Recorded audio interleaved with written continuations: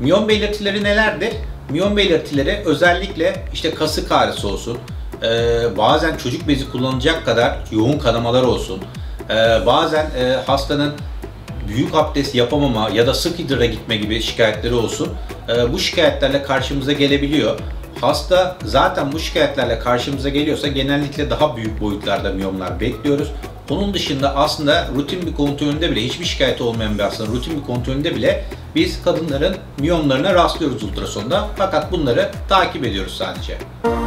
Müzik